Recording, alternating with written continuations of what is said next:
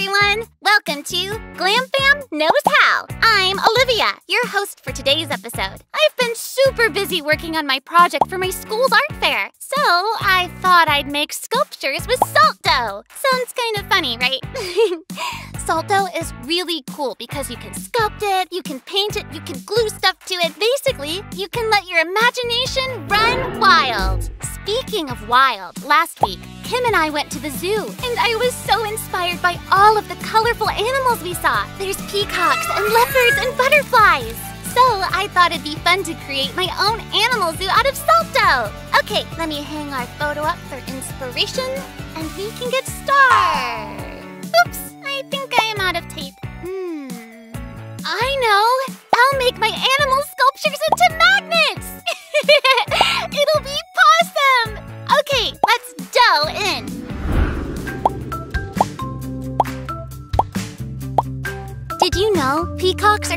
largest flying birds and can live up to 50 years?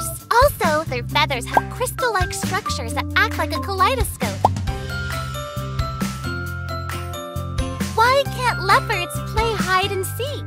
Because they're always spotted! Some of the animals have tiny magnetic particles in their bodies, which apparently helps them locating food and finding a way back home. That's probably why my dog never asks for directions.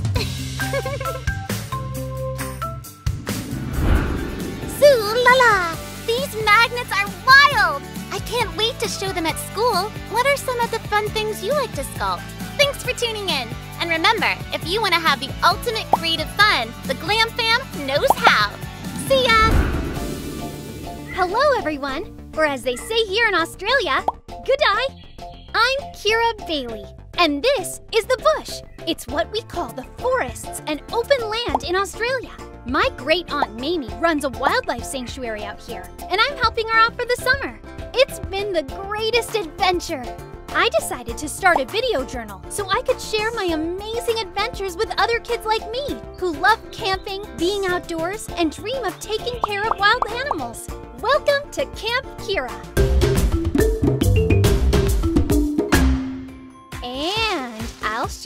The cute animals we get to take care of every day, like koalas. hey, cutie, want to take a selfie? Out here in the bush, we live in the camp and sleep in these amazing tents. And I meet a new friend here who taught me all about taking care of wild animals. Say hello, Alexis. G'day, I'm Alexis, the best mate. You are! OMG, we did butt heads at first. we did. But we both love rescuing animals, and that's how we became best mates. So for my first journal entry, we decided to make pebble art inspired by one of our favorite rescues, being the koala bear. Pebbles are great to use to paint on because they're environmentally friendly. And they're everywhere. All right, it's time to go rock hunting. Let's go, girl. Time to find the perfect rock. Round and flat ones are the best canvas. Just make sure it's okay to take the rocks from their home. Look at this one. Oh, spider. Next, you'll need to clean your rocks and pat them dry. Grab your favorite paints or paint pens. If you want a background color, go ahead and coat the rocks. You can even drip paint. Time for inspiration. Aunt Mamie taught me 90% of the animals here are only found in Australia, like koalas. They make the perfect model because they sleep up to 22 hours a day. But you can use a picture or your pet. Once your rocks are dried and sealed, you can decorate your desk space or use them as napkin holders. It sure gets windy out here. And if you make a bunch like us, you can always give them away to your friends. This was super fun. What kind of animals do you like to draw? I hope you have as much fun painting pebble art and learning about koalas as we did. Thank you, Alexis, for painting with me today. My pleasure, mate. I will be back soon with more adventures from the wild. This is Kira. And Alexis. Signing off from the bush. Catch you later.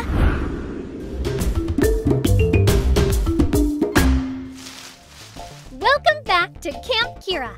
Alexis and I just love taking care of the animals here at the sanctuary. And we've gotten pretty good at it. Sometimes we have to do chores like clearing up dry branches or clean up wombat poo. Did you know wombat's poo is shaped like a square? Helping at the sanctuary is one of our favorite things to do. But we also know that to stay healthy and happy, it is important not to forget to take care of ourselves. That's why every Sunday, after we finish our chores, we put on music and do something fun and relaxing. I like to draw. And I like to take pictures. Doing things that help you feel good is called self-care. The animals work hard too. Some of them are recovering from injuries, or are distressed from fires, or... Or dirty from playing around in muddy puddles. And Boomer, I just gave you two a bath. I think we could all use a self-care day. I might. that's a great idea. Let's make it a self-care Sunday for us and the animals. And you can use some of these tips to give some extra care love to your pet at home. Let's do it! Grab your pet's toys and shampoos, and be sure to ask a grown-up to help read any labels and to assist with the bath. Yep, I got the towels. Wombats may look slow, but in reality, they can run up to 25 miles an hour. So those paws need some love. I like to make a homemade paw balm to use on some of the animals. Be sure to listen to your pet and only rub their paws if they like it. Finally, everyone deserves a little treat. I'm making petsicles for those hot days in the bush. Just fill an ice cube tray with pieces of their favorite pet treats. Add water, and your pet will be so happy.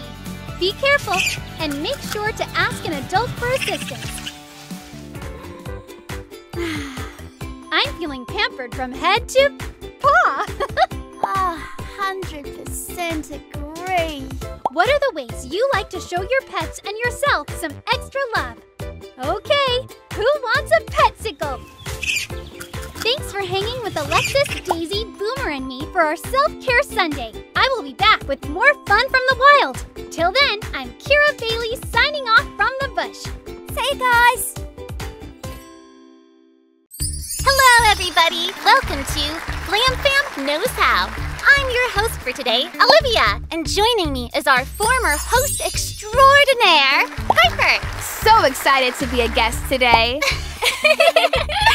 So, Harper, you have a very special request. Yes! My mom's birthday is coming up, and I want to make her something super special that she'll love. That's so sweet. What kind of things does your mom like? She loves gardening. She grows the most beautiful flowers roses, lilies, you name it. Hmm, I have some vases left over when I was going through my pottery phase.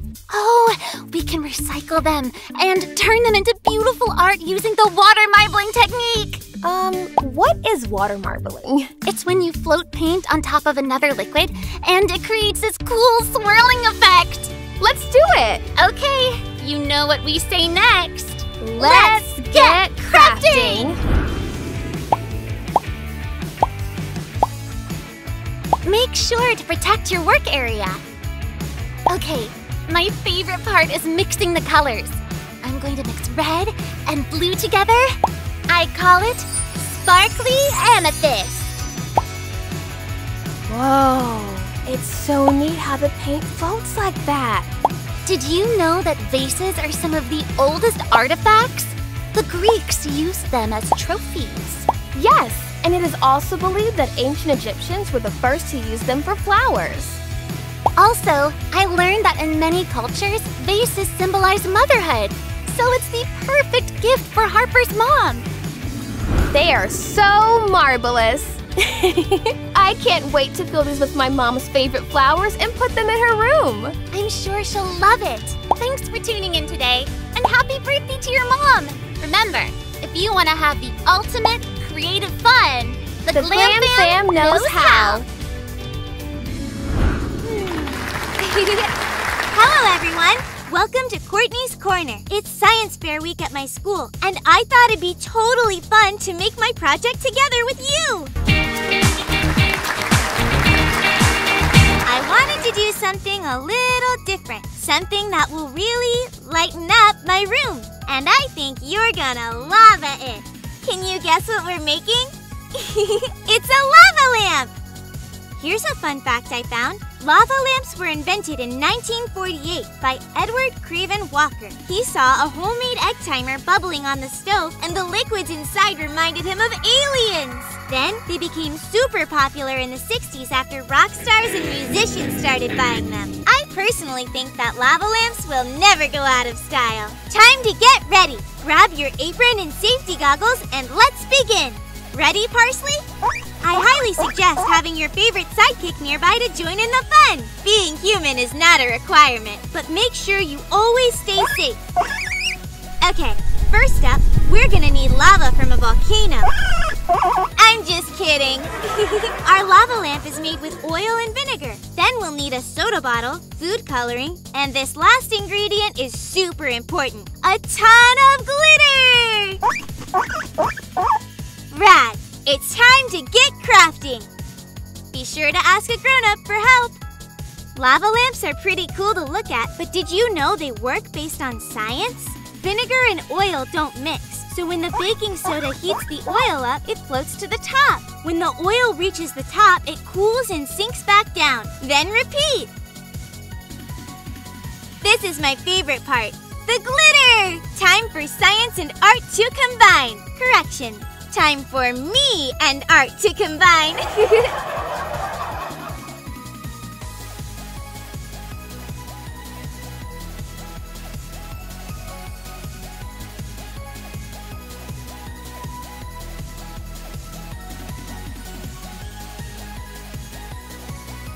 And now for the show. Here we go! In three, two, one. Wow, Parsley, it's so mesmerizing. I could watch this all day. This lava lamp will definitely be a hit at the science fair. I hope you had fun with us today. See you next week. Until then, Parsley and I will enjoy this mesmerizing movement.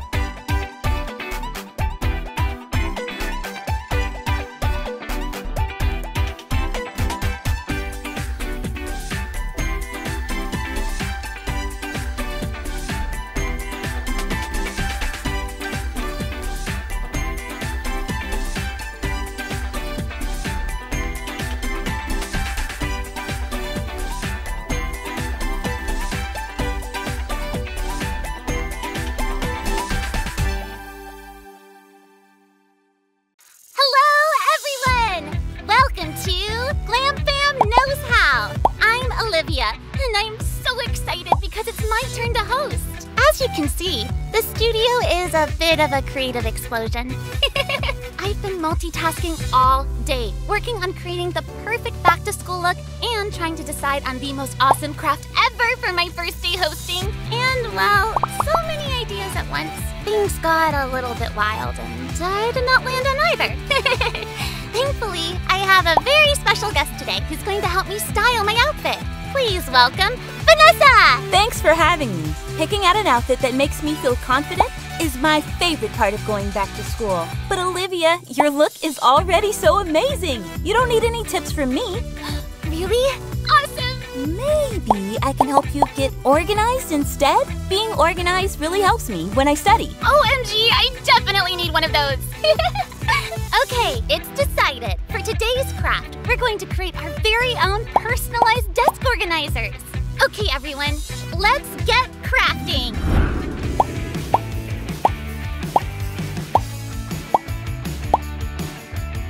Being organized increases your self-confidence and enhances creativity. All it takes is one small step. Did you know the average person spends 12 days a year just looking for their stuff?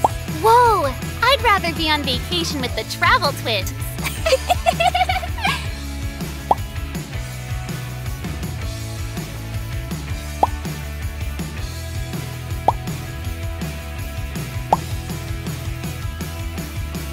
Did you know that one pencil can draw a line that's 35 miles long? What a cool point! What did the calculator say to the other calculator? You can count on me.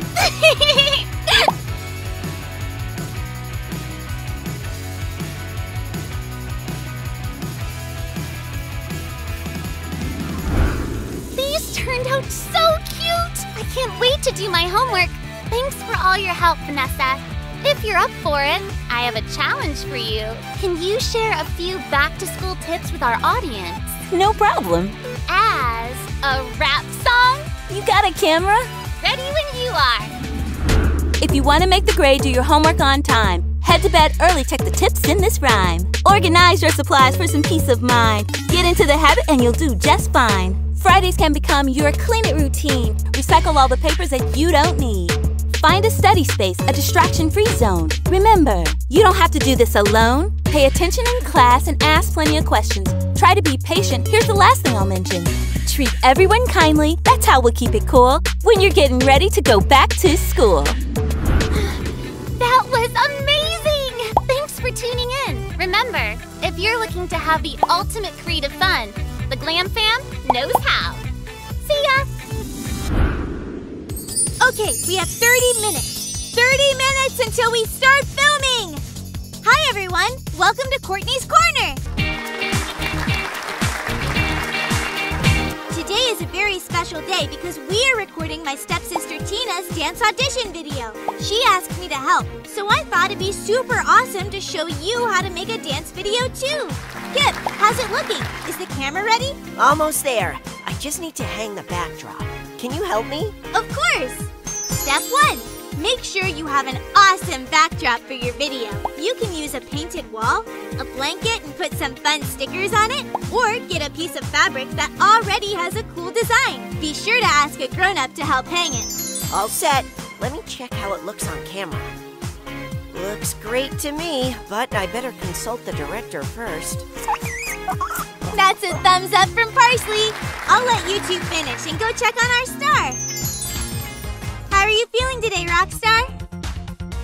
Mmm, thanks. Oh, I am so excited. And a little nervous, but I think I got it. Great! You're going to win the Orange Valley Dance Competition.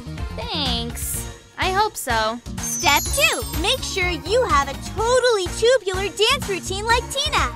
And practice, practice, practice. Yikes, bikes! I need to get you to Sarah in wardrobe.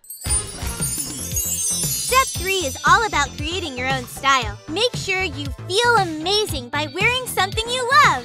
You can even make your own accessories. Sparkles never hurt. So, what do you think? So cool! I love it! Do you want to wear a scrunchie or a bow? Uh, the scrunchie. No, the bow. Uh, I don't know. I think I'm starting to get nervous. I'm having trouble deciding. Step four. If you get stuck, ask for help. Here's how we can decide. Pick a number. Three. Scrunchy it is! Okay, Tina. Time to get dressed and onto the set. Uh, wait! You two need to get ready. We, do? You're my backup dancers. We are? Ugh. I forgot to ask you, didn't I? Quiet on set. Okay, Tina's Orange Valley Dance Competition video submission. Take one.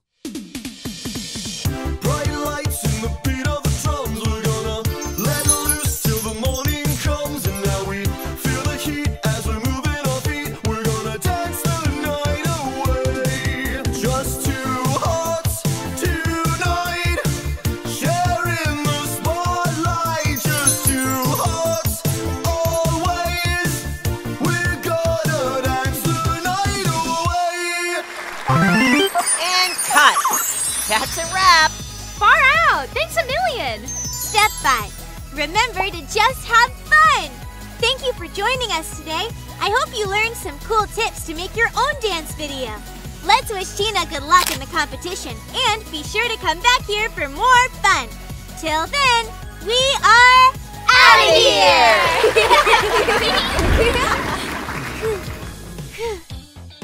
Welcome to Courtney's Corner! This month, we're celebrating all the fun ways to stay healthy. Phew. I like to exercise because it makes me feel good and keeps me strong. But exercising is way more fun when you do it with a friend. That's why I'm so excited because my awesome older stepsister Tina is stopping by today.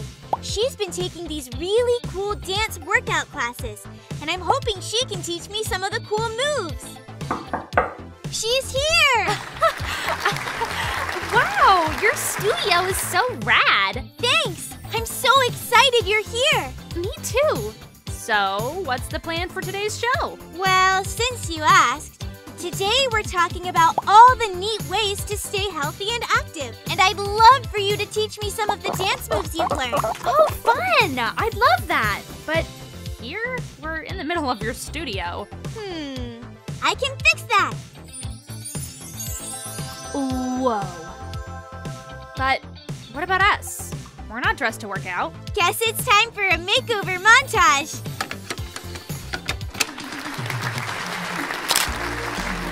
Awesome! I love it! Check it out! yeah! Rad! Oh, yeah!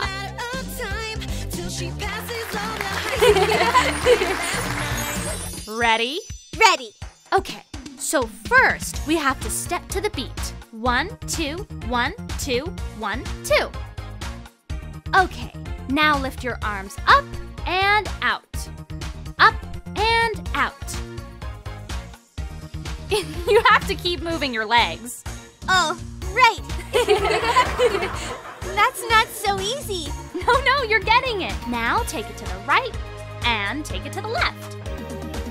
Ah, sorry. It's okay. My first couple of classes were challenging too, but once you get the hang of it, it's a lot of fun. Okay, let's try touching your toes. this is fun. Phew, I'm working up a sweat. Okay, now let's lay on the floor. Perfect. Four leg lifts. Oh, We can do it! Let's finish strong together. Lift and lower, lift and lower. I feel the burn. Almost done. Switch sides. Lift and lower. You got this. Three, two, and one. I did it. High five, sis. Great job.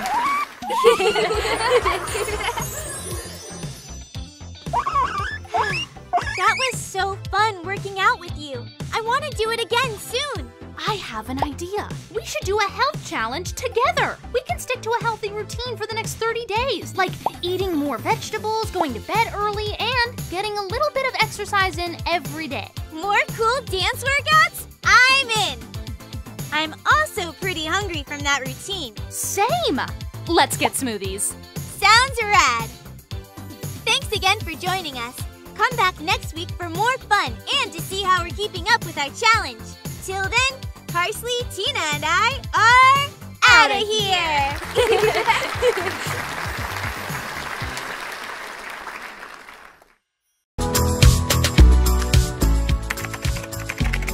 and confident.